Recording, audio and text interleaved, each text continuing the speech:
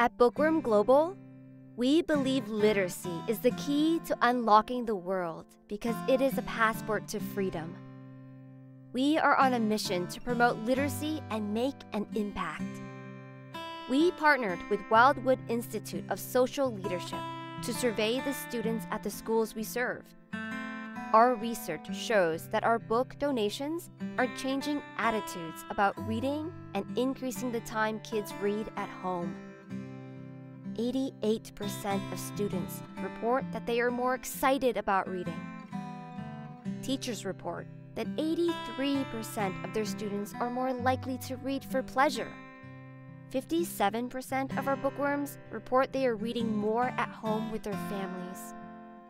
At Bookworm Global, it's our mission to ensure all kids have access to books. Join our army of volunteers today